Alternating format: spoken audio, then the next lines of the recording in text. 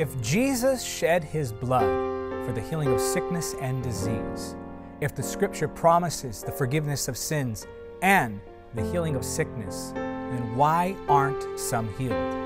That's a very pressing question and one that you will be forced to face if you are going to participate in the call of God concerning the healing ministry.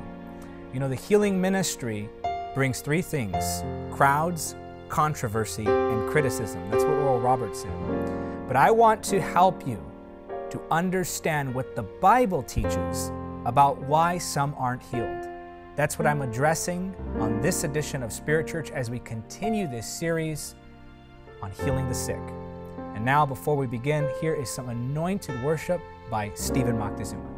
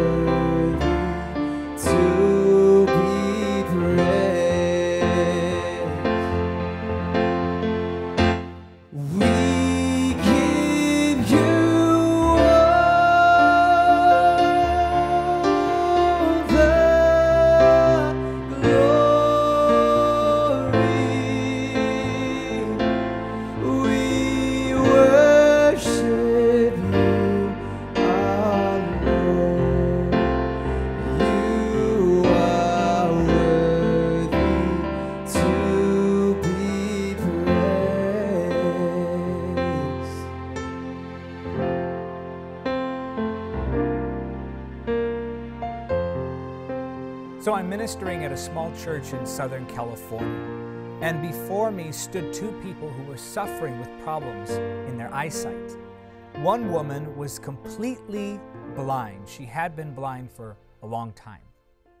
And to her side stood someone who was about my age, a young man about my age, and he had damaged eyesight due to some poor decisions that he had made. You see, his mother explained to me that her son had snuck out of the house, gone to a party, drank something that he should not have been drinking, but did not expect one of his so called friends to put something in that drink, which ultimately damaged his eyesight. And the doctor said the damage was permanent. And so here I am. I have two people standing in front of me. Both of them are believing for a healing. And my faith and expectation was soaring. I was ready to minister to God's people. I was ready to minister the healing power of the Holy Spirit. And so I go to lay hands on both of them. One of them gets healed, and one of them does not. That boy who should not have been doing what he was doing was completely healed. I'm talking instantly. He went from having to be guided by his mother up to the front to reading very small, fine print in a Bible that I had given him. Sure enough, the people erupted in praise. They adored the Lord for what he did for this boy. But I was left questioning, if I'm being honest with you, why the woman was not healed, especially since, according to my pattern of thinking, she should have been the one to receive the healing. Why was it that this boy who had made poor decisions was healed, yet this woman who became blind through no fault of her own was not? And this is a pressing question, and we cannot ignore it, especially if we are going to participate, as I said, in the call of God concerning the healing ministry. And since this series is about ministering to the sick, how to heal the sick, I want to address this important question right off the bat because I know it's going to be something that is going to be pressing on your mind. So I want to address it early on in the series. Now, there are four reasons that people are not healed, biblically speaking. And I'm going to give you all four of them right now. Now, keep in mind that all of them may apply to one instance, and only one of them may apply to one instance. But we have to understand that any doctrine that does not leave room for the sovereignty of God is in danger of becoming a heresy. So we have to acknowledge that even though the scripture promises healing, even though it makes it perfectly clear that by his stripes we are healed, we have to also acknowledge that there are other biblical reasons as to why that person isn't healed. Think about it like a legal document. Whereas one law might say, this is how it should be, another part of that law may say, except for these particular instances. So there are exceptions to the healing power of God, but not many of them. And so, while I do preach and teach that it's always God's will to heal, that's what you're, you're going to hear from me in all of my sermon series and every time I minister, I believe it's always God's will to heal. However, when that healing takes place, that's up to Him, and we're going to get to that in just a moment. But again, I believe in every instance, God eventually wants that person to experience healing. And so let me get to what the scripture says, and then we'll get on to that point, which is point number four. But I know that's going to be at the top of your mind right there. So I want to put that out there just for now. And now let's dive into the first one. The first obstacle to healing, we'll call it, is doubt. Mark chapter 6, verses 4 through 6 say, Then Jesus told them, A prophet is honored everywhere except in his hometown and among his relatives and his own family. And because of their unbelief, he couldn't do any miracles among them except to place his hands on a few sick people and heal them. And he was amazed at their unbelief. Now, Jesus even ran into this issue. And it wasn't because he didn't have faith, it wasn't because he didn't have power, it was because the people didn't have faith.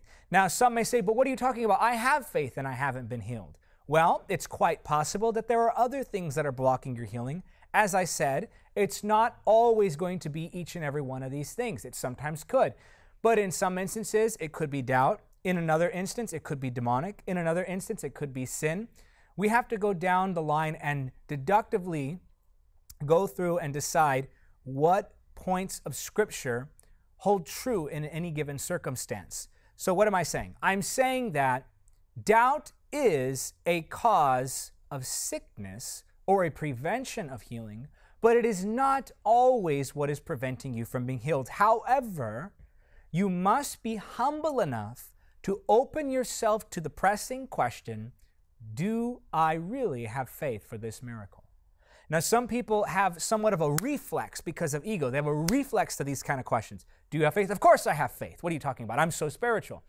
But we have to humble ourselves and we have to set aside the ego and really examine our hearts and ask the Lord, Lord, is there doubt in me? And if after looking you find that there is no doubt in your heart that should prevent the healing, then you move on to what else it could possibly be. But faith was always present in every instance of healing. The centurion had faith for his servant in Luke chapter 7, verses 1 through 10. Jairus' uh, daughter uh, was dead. She could not have had faith for herself, but Jairus had faith for his daughter. Uh, the woman with the issue of blood had faith for herself. Both of those instances are found in Mark chapter 5. Number two, the cause could be demonic. The longer I serve in the healing ministry, the more convinced I become that sickness is never God's will. Sickness is demonic because it is destructive to the human body, one of God's most cherished creations. Now, again, what I said of doubt also applies to the demonic. It could be demonic, but that doesn't mean it's always demonic. But let me show you just some examples of scripture here. Look, I know this is controversial to some, but this is God's word. not my experience. I'm not going to base my worldview on what I experience or feel. I'm going to base it on what the Bible teaches. And I, I have to be honest with you, I can't present anything to you that is unbiblical. I have to stay true to what the scripture says. 1 John chapter 3 verse 8 says, "But when people keep on sinning, it shows that they belong to the devil, who has been sinning since the beginning. But the Son of God came to destroy the works of the devil." So, Jesus came to destroy any work that is demonic. So we see in Scripture that some sickness is caused by demonic spirits. Matthew chapter 8, verse 16. When the even was come, they brought unto him many that were possessed with devils, and he cast out the spirits with his word and healed all that were sick. Matthew chapter 10, verse 1. Jesus called his 12 disciples together and gave them authority to cast out evil spirits and to heal every kind of disease. Matthew 9, 32 through 33. And they went out. Behold, they brought to him, or as they went out, behold, they brought to him a dumb possessed, a dumb man possessed with the devil. And when the devil was cast out, the dumb spake. And the multitudes marveled, saying it was never so seen in Israel. So his inability to speak was demonic. And as soon as Jesus drove that demon out, the man began to talk. Matthew chapter 12, verse 22 says, Then was brought unto him one possessed with the devil, blind and dumb. So he was blind and mute. And the scripture says, And he healed him, insomuch that the blind and dumb both spake and saw. He healed him at the same time he delivered him. Demonic powers can cause sickness, but not all sickness is caused by demonic powers. Okay? Number three is sin. Now, I know people don't want to hear this, but again, this is the truth. They say, What about the man in John chapter 9 about whom Jesus said, Nobody sinned, his mother nor father, but this was done that God might be glorified. Well, first of all, it was his healing that glorified God, not his sickness. And second of all, the scripture just talks about this man, his instance of having a demonic spirit or of sickness coming upon him because of sin. So Jesus was saying that no, in this man's case, it's not because of sin. But that doesn't mean this isn't so in other cases. Again, it's not always the cause, but think of Ananias and Sapphira. In Acts chapter 5, verses 1 through 11, they lied to the Holy Spirit, and because of that sin, they dropped dead. Now, if sin can cause death, surely sin can cause sickness. Proverbs chapter 14, verse 30. It tells us that sin or jealousy can cause sickness. 1 Corinthians chapter 11, verse 27 to 31, we clearly see the effects of, of sin because it talks about in that portion of scripture people being sick as a result of their sin. Go and read it. 1 Corinthians chapter 11 verse 27 to 31. For the sake of time, I have to just give you the reference because I really want to park it here on this one. Number 4 is timing. So, number 1 is doubt, number 2 is the demonic, number 3 is sin, and number 4 is timing. Now, the scripture has many instances like this I'm going to show you where timing is a factor. Did you know that King David prayed for the sick and they weren't healed? A lot of people did not know this, but Psalm chapter 35, verse 13 says, But as for me, when they were sick, my clothing was sackcloth. I humbled my soul with fasting, and my prayer returned into mine own bosom, or it went unanswered. Timothy was told by his mentor, Paul, not to be healed, but instead to take medicine for his stomach condition. 1 Timothy chapter 5 verse 23. Don't drink only water. You ought to drink a little wine for the sake of your stomach because you are so often sick or because you are sick so often. Now, why didn't he just heal him? I'm sure he prayed for him, but Timothy wasn't healed. Did you know that there was a man that Jesus passed almost every day and he didn't heal him? I'm going to show it to you. Acts chapter 3, verse 2. What does the scripture say? Watch this very carefully. As they approached the temple, a man lame from birth, that's key, lame from birth. It calls him a man, and it says he was lame from birth. So this is years that have gone by. Man lame from birth was being carried in. Each day he was put beside the temple gate the one called the Beautiful Gate, so he could beg from the people going into the temple. Okay, so each day he's at the temple begging. He's at the gate, the entrance. What does Matthew chapter 26, verse 55 tell us? Then Jesus said to the crowd, Am I some dangerous revolutionary that you come with swords and clubs to arrest me? Why didn't you arrest me in the temple? I was there teaching every day. Now, wait a minute. Here we have a man who is lame since birth sitting at the gate of the temple, and Jesus entering the temple almost every day. Why didn't Jesus heal that man? Well, I think it has to do with timing. Think about the gradual healing of the blind man in Mark chapter 8. Look at what the scripture says here.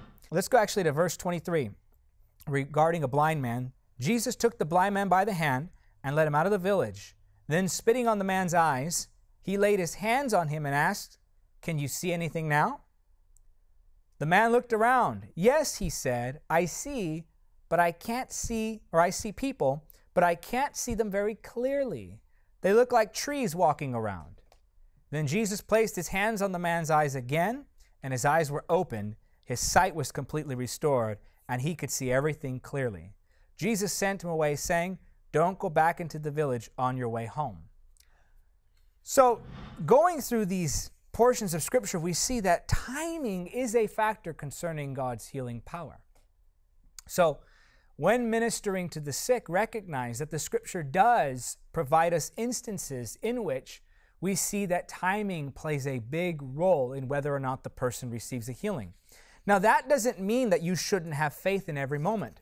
Have faith as if now is your moment, but have hope as if it could come any day in the future.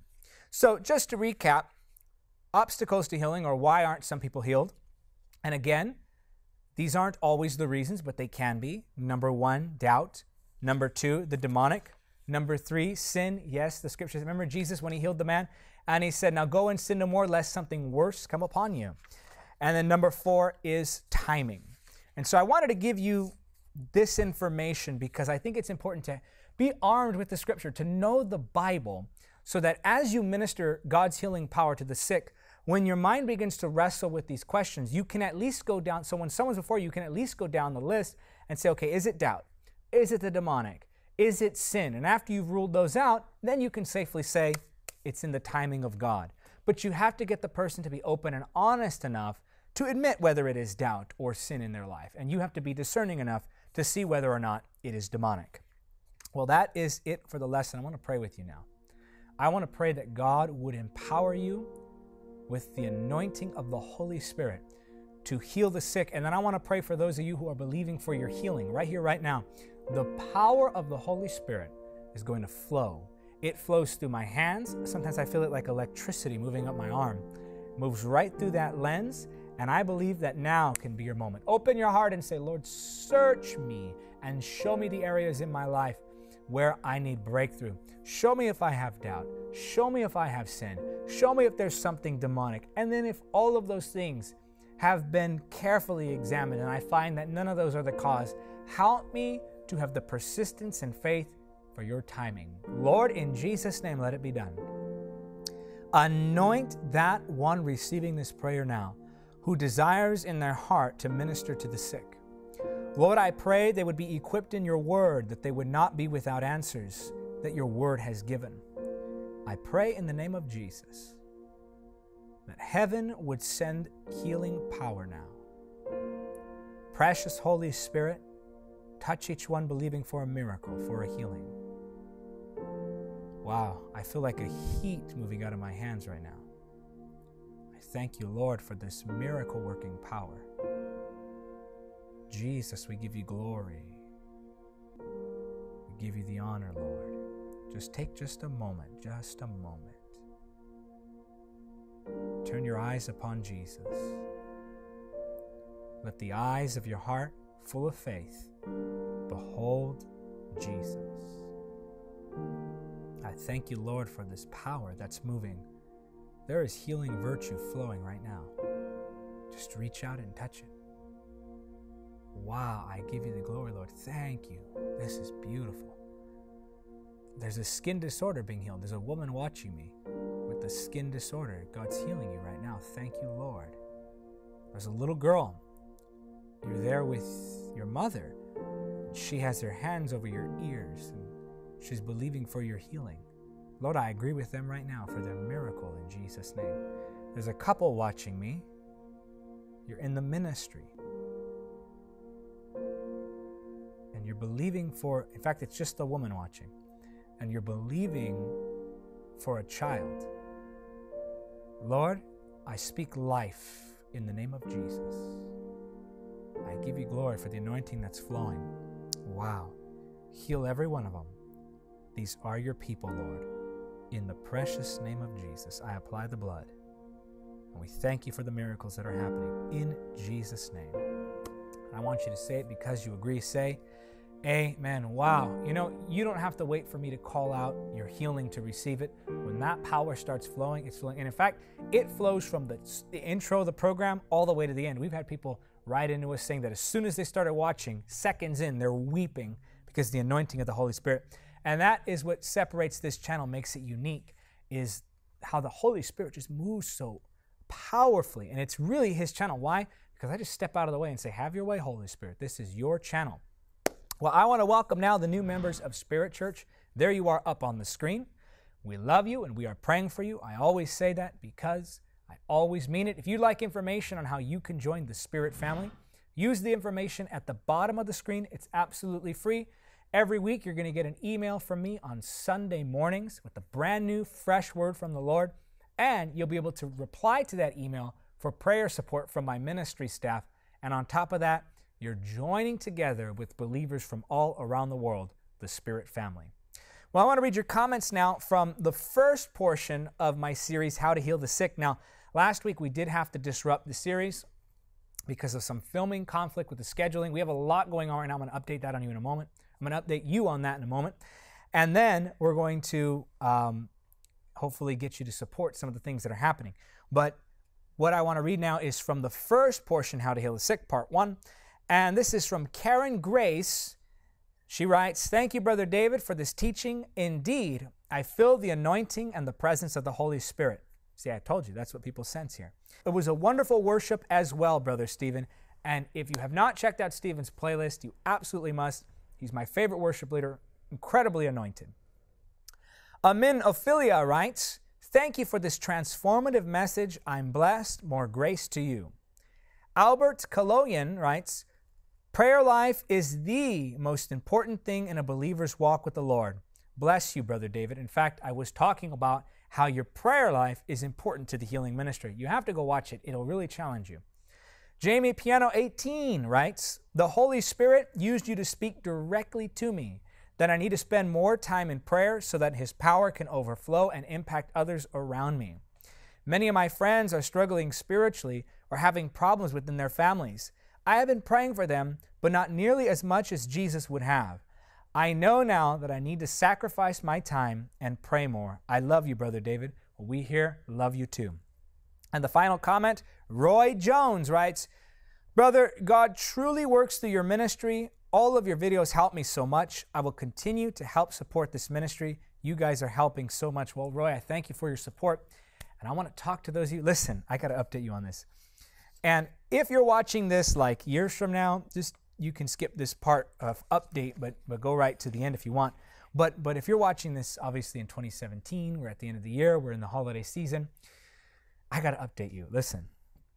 We have been looking at properties because we're this close to finishing our monthly campaign. Now, let me tell you what we're doing. We are raising support. We need a thousand new $30 a month supporters to help us maintain the monthly costs of a new facility that we want to move into. Now, we've been looking all over, and it's been a real challenge, so I need you to pray. The enemy's been fighting us hard on just a few things, but we're getting some breakthrough in it now. The enemy doesn't want us to gain, gain property because it's a foothold for the kingdom of God. So we've been visiting all different places, and we've just been experiencing favor, favor, favor. Even on this campaign, favor. The favor of God is on this ministry in a building where they said they'd never consider the permits for allowing us public assembly, which we'd need for the studio audience to come in and sit in. Get this, we just received word from our realtor. He's, he's telling me that the city is actually considering now, and the owner of the property is reconsidering. So we actually went there. Me and my wife went and laid hands on the property and prayed, and we're claiming it for us. And even if it's not that one, the Lord has something better. But I say all that to say we're getting very close to finishing up the campaign. Here's what we needed we needed a thousand new $30 a month supporters. Here's where we are now. Look at that. We are so close to this goal. I want to get this done, and here's why. Once we've reached a thousand $30 a month supporters and those people keep giving, we can then turn our attention to raising funds for the renovation of the studio. So I'll put it to you this way the one time costs get us into the studio, the monthly costs keep us there. So the monthly support is almost there. But you have to realize, and please try to understand what I'm saying. Please really listen carefully on here. When you go into a building or a property, it takes months to get permits to do certain things. That means once we get into the studio, we have to start paying months month's rent right away, immediately as soon as we get in there. That's why we need the monthly support to come in first. And so while we're in there, we're going to be doing renovations. So you're going to love what we're doing. I'm telling you, God is up to something big. So I say all that to say this we need to finish up this $30 a month campaign. We need our support to come in. Help us finish this off. Look, we are almost there. Sign up today to become a $30 a month supporter. If you've been waiting, if you've been saying this is something I've been wanting to do, just do it now. Now is the time. And then we can turn now to renovation and we can start showing you footage of buildings we want to see. And it, it's going to get really exciting from there. So sign up today. Help us solidify that monthly foundational support so that we can start doing more. And remember, this is all for souls. That's what we do it for. Don't, don't say, I'm going to give so I can get something back from God. Say, I'm going to give so that we can continue to win souls. That's what this is about.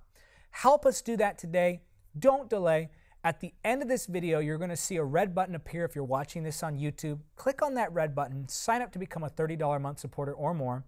And then on top of that, if you're watching this on the app, just wait for the video to end. You're going to see a button appear. If you're watching this anywhere else, use the information at the bottom of the screen. Now listen. If you sign up today to become a $30 a month supporter or more, I'm going to send you a copy of either Carriers of the Glory or 25 Truths About Demons and Spiritual Warfare. I'll sign it as my initiation gift to becoming my partner to say thank you. So do that today. Let guys listen. Do me a favor. Let's just wrap this up. I, I really am counting on you here because we're like I, I, I could feel something in the air. We're very, very excited for the big, big, big things coming our way. Let's just finish off this small step so we can take this to the next phase, okay? I love you for it. I appreciate you. And I know if this ministry has blessed you, you're going to respond. So do that today. And remember, until next time, nothing is impossible with God. Thank you for watching Encounter TV. Don't forget to subscribe also, help me win souls by spreading the gospel through events and media. Make a one time donation or become a monthly supporter by clicking on the donate link now.